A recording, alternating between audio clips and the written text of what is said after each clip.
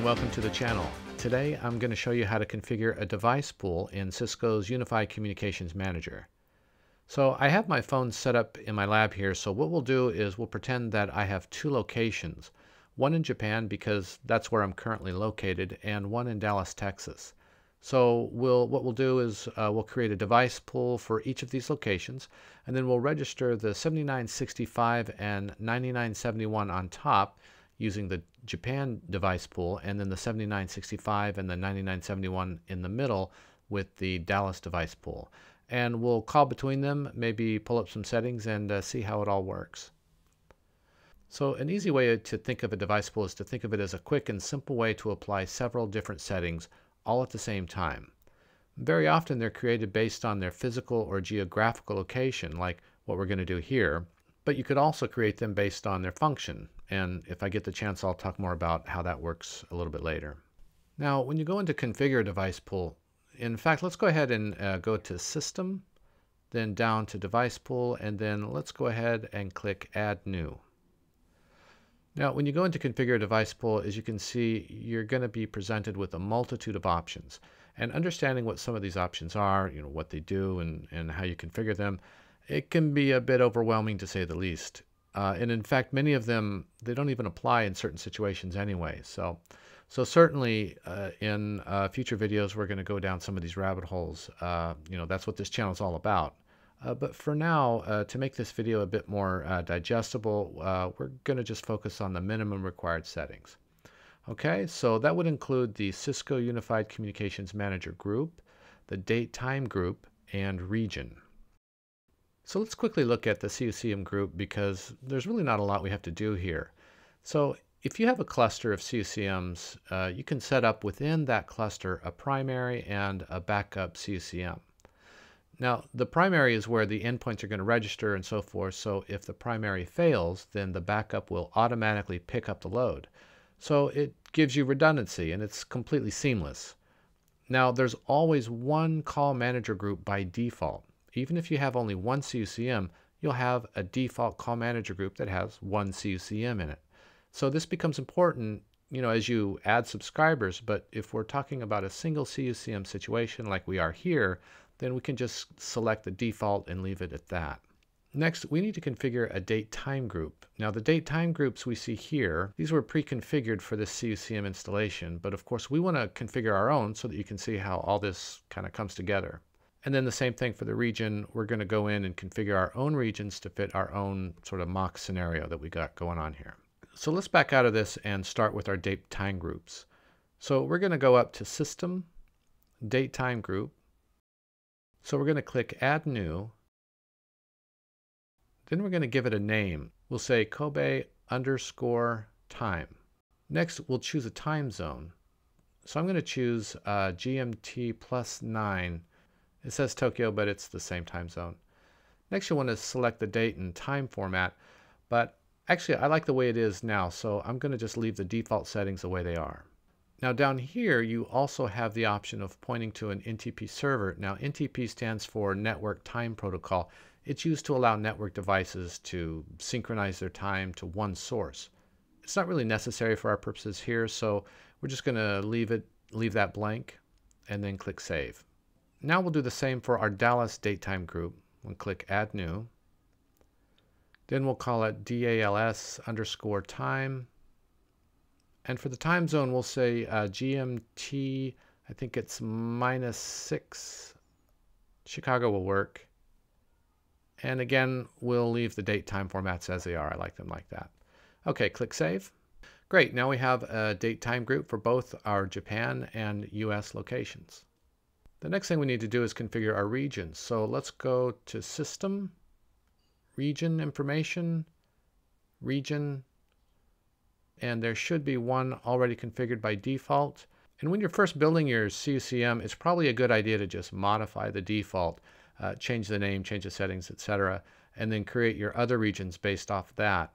But uh, here we're just going to go ahead and create a new one from scratch, uh, just because. So we're going to click Add New, and for the name we'll say Kobe underscore RGN, and then click Save. Now once we've created the Kobe region, we have to configure the region settings. Now to put in the simplest terms, a region is simply a, a, way of identifying the codecs that will be used for audio and video communication. And these settings will always be in relation to other regions. So if I have a phone in the Kobe region, what codec will be used if that phone is communicating with another phone that is also in the Kobe region versus what codec will be used if it's communicating with a phone that's in the default region or the Dallas region, which we're going to configure in just a minute. Now I'm going to select Kobe down in the Modify Relationship to Other Regions window, and then go over to Maximum Audio Bitrate, and then select 64 kbps G.722, G.711 from the dropdown. Then I'm going to go over to maximum bitrate for video calls and I'm going to select the bottom radio button and then choose, uh, let's say 768 kbps and then we'll click save. So as you can see, it adds our configuration to the region relationship here in the middle. So what we're saying is that when I'm calling from the Kobe region to the Kobe region within or basically within the Kobe region, I'm going to use these settings. And by the way, knowing what these settings should be, you know, which codecs to use and so forth, is really uh, the subject of another video. I'll be posting that video soon, so if you don't see, already see a link to that video in the upper right hand corner, then check back soon. Okay, so that's region settings for Kobe. So let's create one for Dallas. So we'll click Add New, then call it DALS underscore RGN, and then click Save. Now let's come down here and select the Dallas region. Now remember, before when we were configuring the Kobe region, we configured our settings based on when we're calling from Kobe to Kobe or within Kobe. So now we're configuring Dallas to Dallas, which is also within the same network. So we want to give it the exact same settings as before. So we'll select 64 kbps for max audio bitrate and then 768 kbps for video calls and then click save. Okay, so we've configured the settings for when we're calling from Kobe to Kobe and when we're calling from Dallas to Dallas. So now we need to configure for when we're calling from Dallas to Kobe and vice versa. So we're already in the Dallas region, so let's just click on Kobe down uh, in the Modify Relationships to Other Regions window.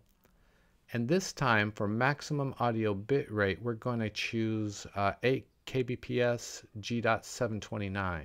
And for video calls, we're going to put in 384 and then save. Now you notice that when I call from Dallas to Dallas, I'm going to be using G.722 and G.711, but from Dallas to Kobe, it's much lower at G.729. And the reason for that is because when we're calling from Dallas to Dallas, we're on the same network and we can tolerate a much higher bit rate than when we're calling overseas. And by the way, what's nice about configuring uh, regions is that once we configure our settings from Dallas to Kobe, as we've just done, it will automatically configure the reverse uh, from Kobe to Dallas without us having to do anything. So from here, we should be all set to go back and configure our device pool. So let's go up to System, then Device Pool, and then Add New. Now we're going to give our first device pool a name of uh, Kobe underscore DP for device pool. For the Cisco Unified Communications Manager group, we're going to select the default group, which is CM1.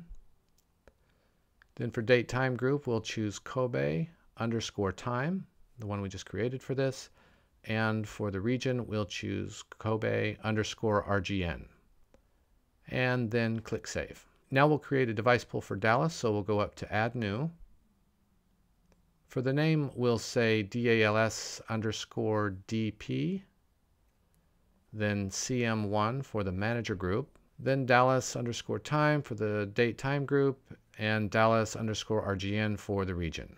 And then we'll click Save, and our device pools are configured. Okay, so I just registered four endpoints. The, the two on the top are registered using the Kobe device pool, and the two in the middle are registered with the Dallas device pool. I skipped over the registration process because we've already gone over this in another video, but if you want to see how to register phones to the CUCM, you can click the link in the upper right hand corner and uh, watch that video. Now the first thing to notice is that the phones registered with the Kobe device pool show Tokyo's local time 1158 and the two phones registered with the Dallas device pool are showing uh, local Dallas time uh, looks like 958. Now if I make a call to the other phone registered with the Kobe device pool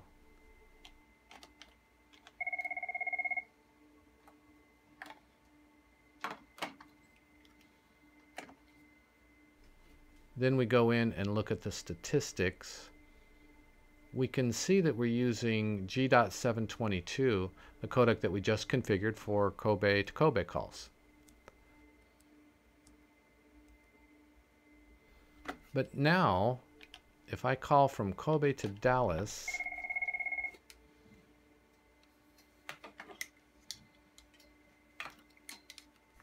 then go into the call statistics again,